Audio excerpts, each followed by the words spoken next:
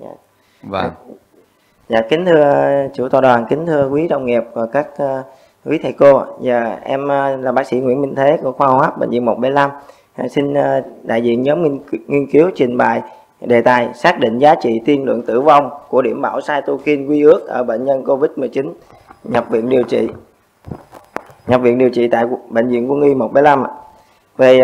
phần trình bày của em thì gồm có 5 phần. Như chúng ta đã biết thì ờ, dịch bệnh viêm đường hấp cấp được báo cáo lần đầu tiên vào tháng 12 năm 2019 tại Vũ Hán, Trung Quốc và sau đó thì nhanh chóng lan thành đại dịch toàn cầu.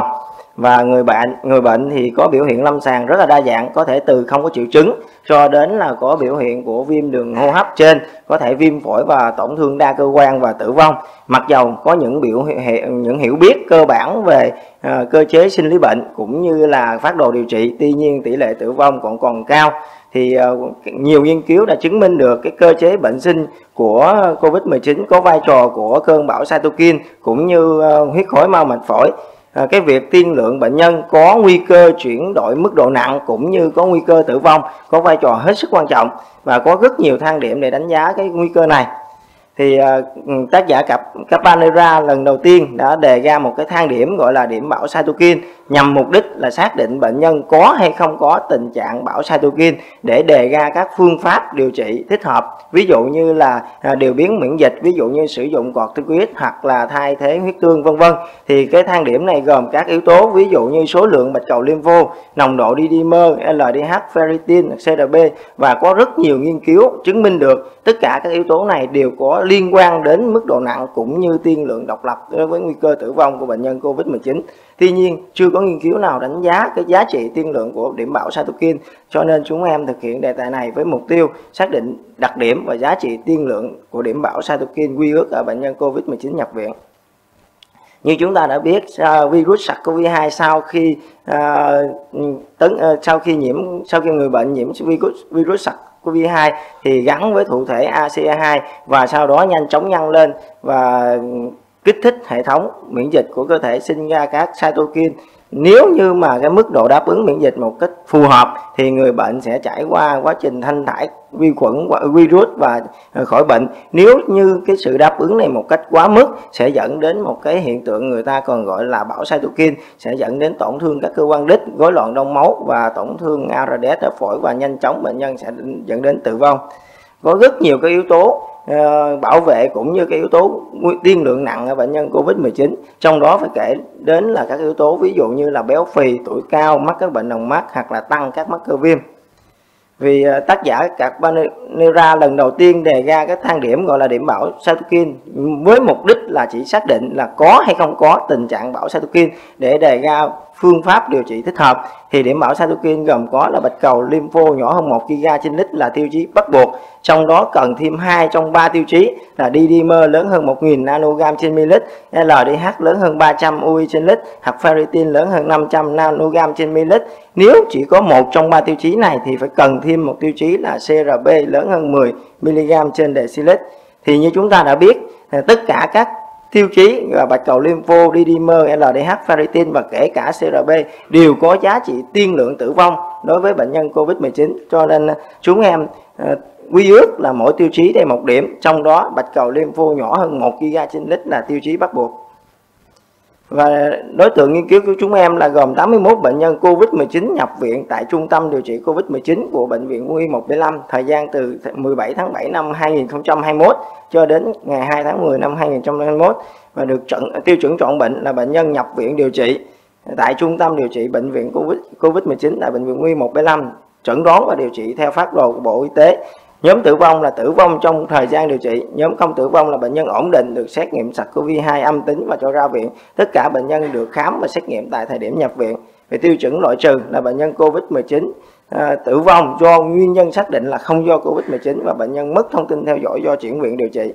Về thiết kế nghiên cứu đây là một nghiên cứu tiến cứu theo dõi dọc số lượng số liệu được xử trí theo phần mềm STBS 20.0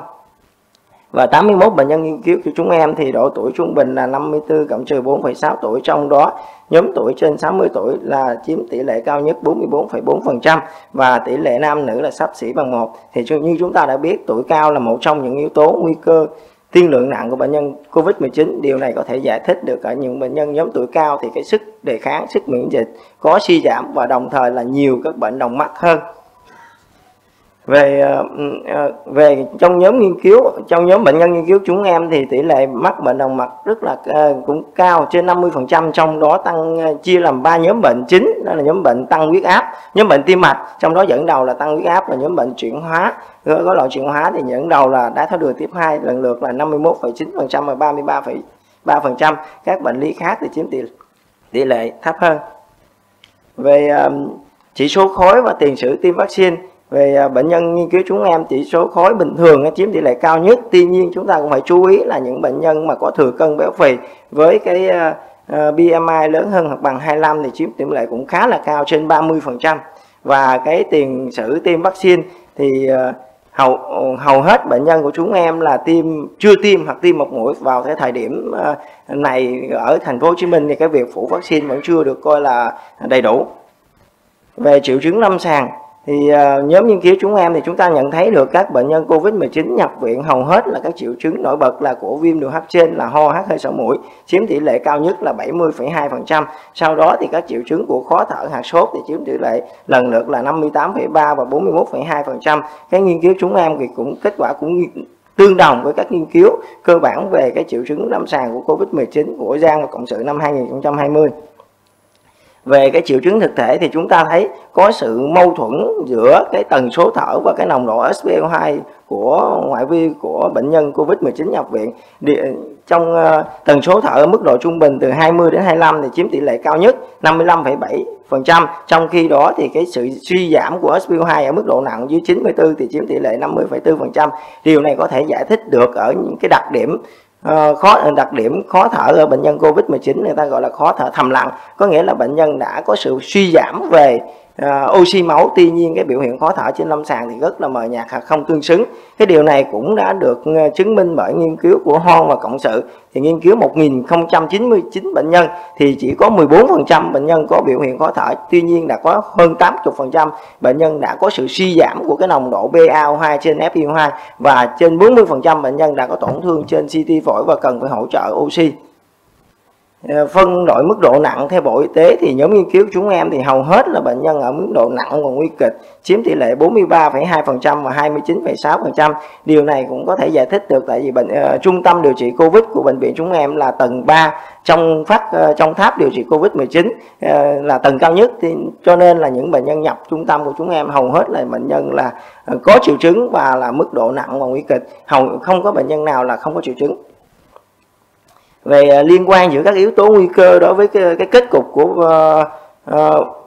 bệnh nhân thì chúng ta thấy là cái tuổi trên 60 hoặc là BMI trên 25 uh, ờ, có bệnh đồng mắt là những yếu tố nguy cơ tương đối có nguy cơ tử vong tương đối với uh, tử vong của bệnh nhân COVID-19 trong cái chỉ số OR lần lượt là 3,91, 7,7 và 7,8